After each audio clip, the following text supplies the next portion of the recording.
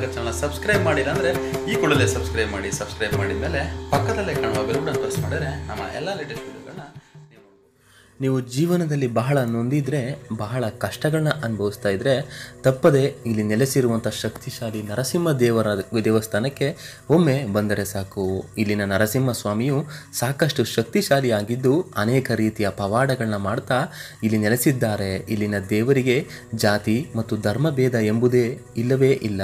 ಅದಕ್ಕಾಗಿಯೇ ಅನ್ಯ ಧರ್ಮದ ಜನರು ಕೂಡ ಈ ದೇವರನ್ನ ಹೆಚ್ಚು ನಂಬುತ್ತಾರೆ. ಭಕ್ತಿಯಿಂದ ಕೋರಿಕೆ ಇಟ್ಟರೆ ಎಂಥದೇ ಕಷ್ಟ ಇದ್ದರೂ ಅವುಗಳು ಸುಲಲಿತವಾಗಿ ನಡೆಯುತ್ತದೆ. ಈ ದೇಗುಲ ಬೆಂಗಳೂರು ನಗರಕ್ಕೆ ಹತ್ತಿರ ಇದ್ದರೂ ಸಾಕಷ್ಟು ಜನಕ್ಕೆ ಇದರ ಬಗ್ಗೆ ಮಾಹಿತಿ ಇಲ್ಲ. ಈ ಪುರಾತನ ದೇಗುಲದ ಸಂಪೂರ್ಣ ಜವಾಬ್ದಾರಿಯನ್ನು ಘನ ಕರ್ನಾಟಕ ಸರ್ಕಾರದ ಮುಜರಾಯಿ ಇಲಾಖೆ ನೋಡಿಕೊಳ್ಳುತ್ತಾ ಇದೆ. ಪ್ರತಿ ವರ್ಷ ಇಲ್ಲಿ ಅದ್ದೂರಿ ಜಾತ್ರೆ ನಡೆದು ಲಕ್ಷಾಂತರ ಜನ ಭಾಗಿಯಾಗಿ ನರಸಿಂಹ ದೇವರ ದರ್ಶನವನ್ನು ಪಡಿತಾರೆ.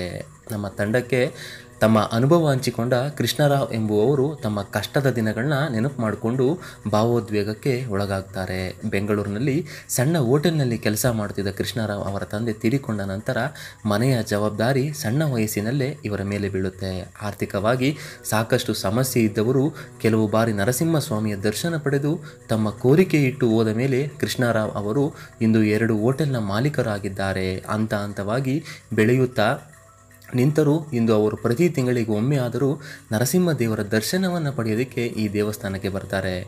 ಊಟಕ್ಕೂ ಕಷ್ಟ ಇದ್ದ ಕೃಷ್ಣರಾವ್ ಅವರು ಇಂದು ಲಕ್ಷಾಧಿಪತಿ ಆಗಿದ್ದಾರೆ. ಎಲ್ಲವೂ ಇಲ್ಲಿ ನೆಲೆಸಿರುವಂತಹ ನರಸಿಂಹ ಸ್ವಾಮಿಯ ಪವಾಡ ಎಂದು ಹೇಳುತ್ತಾರೆ. ಈ ಗ್ರಾಮದಲ್ಲಿ ಹದಿನೆಂಟನೇ ಶತಮಾನದ ಶ್ರೀ ನರಸಿಂಹಸ್ವಾಮಿ ದೇವಸ್ಥಾನವಿದೆ. ಈ ದೇವಸ್ಥಾನದ ತೆರೆಕೋಟೆ ಮತ್ತು ಹಸಿ ಚಿತ್ರಗಳು ಇವೆ. ಈ ದೇವಸ್ಥಾನಕ್ಕೆ ಮೈಸೂರು ರಾಜರ ಕೊಡುಗೆ ಅತ್ಯುತ್ತಮವಾಗಿದೆ. ಹಾಗೆಯೇ ಮೈಸೂರು ಸಂಸ್ಥಾನದ ಕೊಡುಗೆಯು ಈ ದೇವಾಲಯಕ್ಕಿದೆ. ಮೈಸೂರು ರಾಜರು ತುಮಕೂರು ಜಿಲ್ಲೆಗೂ ಸಂಬಂಧ ಹೊಂದಿದ್ದು ತನ್ನ ಸಾಮಂತ ರಾಜರುಗಳ ಮೂಲಕ ಶಿರಾದಲ್ಲಿರುವ ಸಿ ಬಿ ನರಸಿಂಹಸ್ವಾಮಿ ದೇವಸ್ಥಾನವನ್ನು ನಿರ್ಮಾಣ ಮಾಡಿದರು. ಜೊತೆಗೆ ಶ್ರೀರಂಗಪಟ್ಟಣದಲ್ಲಿ ಸಾವಿರ ಎಕರೆ ಜಮೀನನ್ನು ದೇವಸ್ಥಾನಕ್ಕೆ ದಾನವಾಗಿ ಕೊಟ್ಟಿದ್ದಾರೆ. ಸಿ ಬಿ ಕ್ಷೇತ್ರ ಹಿಂದೆ ಒಂದು ದಟ್ಟ ಅರಣ್ಯವಾಗಿತ್ತು. ಅಲ್ಲಿ ಪವಿತ್ರ ಪುರುಷರು ಧ್ಯಾನ ತಪಸ್ಸು ಮಾಡಿರುವ ಬಗ್ಗೆ ಕುರುಹುಗಳು ಇವೆ. ಪ್ರಹ್ಲಾದನ ಮೊಮ್ಮಗ ಇಲ್ಲಿ ಧ್ಯಾನ ಮಾಡಿದ್ದಾನೆ ಎಂದು ನಮ್ಮ ಹಿಂದೂ ಪುರಾಣಗಳು ಹೇಳುತ್ತದೆ. ಮೊದಲು ಇಲ್ಲಿ ಶ್ರೀಮಂತ ವ್ಯಾಪಾರಿಯೊಬ್ಬರು ಸಣ್ಣ ದೇವಾಲಯವನ್ನು ನಿರ್ಮಿಸಿದರು. ನಂತರ ಇತ್ತೀಚಿನ ದಿನಗಳಲ್ಲಿ ಪೂರ್ವಭಾವಿ ದೇವಾಲಯದ ಮೇಲೆ ದೊಡ್ಡ ದೇವಾಲಯವನ್ನು ನಿರ್ಮಿಸಿದವರು ಮೂರು ಶ್ರೀಮಂತ ಸಹೋದರರು. ಅವರು ಲಕ್ಷ್ಮೀ ನರಸಿಪ್ಪ ಲಕ್ಷ್ಮೀ ನರಸಪ್ಪ ಪುಟ್ಟಣ್ಣ ಮತ್ತು ನಲ್ಲಪ್ಪ ಎಂಬುವವರು. ಈ ಮೂರು ಸಹೋದರರು ಮೈಸೂರು ರಾಜ ಟಿಪ್ಪು ಸುಲ್ತಾನನ ಆಸ್ಥಾನದ ನ್ಯಾಯಾಲಯದಲ್ಲಿ ದಿವಾನರಾಗಿದ್ದ ಕಚೇರಿ ಕೃಷ್ಣಪ್ಪನವರ ಪುತ್ರರು.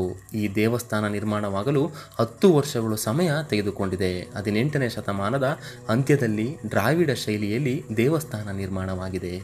ಈ ದೇವಸ್ಥಾನದ ಗೋಪುರ ಮೂರು ಶ್ರೇಣೀಕೃತಗಳಲ್ಲಿ ಬೃಹತ್ ಪ್ರಕಾರದಲ್ಲಿ ನಿರ್ಮಾಣವಾಗಿದೆ. ನವರಂಗವನ್ನು ಸ್ತಂಭಗಳಿಂದ ಒತ್ತುಕೊಟ್ಟು ನಿರ್ಮಿಸಲಾಗಿದೆ ಮತ್ತು ಸುಮಾರು ನೂರ ಮೂವತ್ತು ಸಣ್ಣ ಸಣ್ಣ ಗೂಡುಗಳನ್ನು ದೇವಾಲಯದ ಸಣ್ಣ ವಿಗ್ರಹಗಳ ಸುತ್ತ ಚಾವಣಿಯ ಮೇಲೆ ಕಲಾತ್ಮಕವಾಗಿ ನಿರ್ಮಿಸಲಾಗಿದೆ. ಇಷ್ಟು ಕಲಾತ್ಮಕವಾದ ಹಳೆಯ ಮಾದರಿಯ ದೇಗುಲವನ್ನು ಒಮ್ಮೆ ಆದರೂ ಹೋಗಿ ನೋಡಬೇಕು. ಸಿ ಬಿ ಎಂಬುದೊಂದು ಗ್ರಾಮ. ಇದು ತುಮಕೂರು ಜಿಲ್ಲೆಯಲ್ಲಿದೆ. ಬೆಂಗಳೂರಿನಿಂದ ಶಿರಾ ಹೆದ್ದಾರಿಯಲ್ಲಿ ಸುಮಾರು ಮೂವತ್ತು ಕಿಲೋಮೀಟರ್ ದೂರದಲ್ಲಿರುವ ಊರು ಈ ಸಿಬಿ ಭಗವಂತನ ಮಹಿಮೆ ತಿಳಿದ ನಾವೇ ಪುಣ್ಯವಂತರಲ್ಲವೇ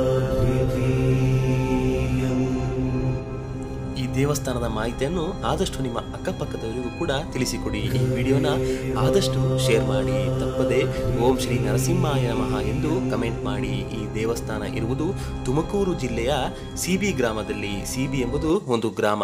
ಈ ಗ್ರಾಮದಲ್ಲಿ ಶ್ರೀ ನರಸಿಂಹ ಸ್ವಾಮಿಯು ನೆಲೆ ನಿಂತಿದ್ದಾನೆ. ಮುಂದಿನ ಬಾರಿ ಮತ್ತೊಂದು ದೇವಸ್ಥಾನದ ಮಾಹಿತಿಯೊಂದಿಗೆ ಸಿಗೋಣ. ಧನ್ಯವಾದ ಸ್ನೇಹಿತರೆ. ನಮ್ಮ ದೇಗುಲ ದರ್ಶನ ಕರ್ನಾಟಕ ಚಾನಲ್ ಸಬ್ಸ್ಕ್ರೈಬ್ ಮಾಡೋದನ್ನು ಮರಿಬೇಡಿ.